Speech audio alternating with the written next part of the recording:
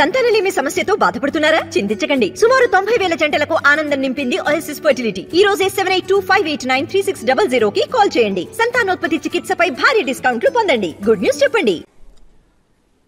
This the lift off attempt of TV D one could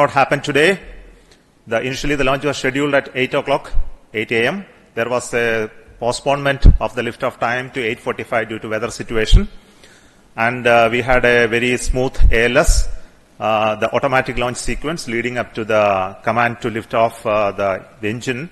But the engine ignition has not happened in the nominal uh, course. Uh, we have to find out what went wrong with that. Uh, the vehicle is safe. The, all the entire vehicle is very safe. We will have to reach the vehicle and then look at what has happened now.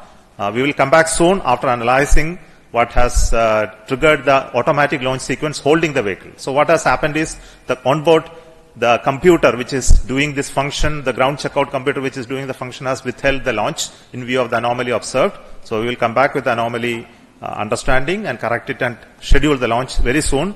Uh, that will be announced a little later after the analysis is completed.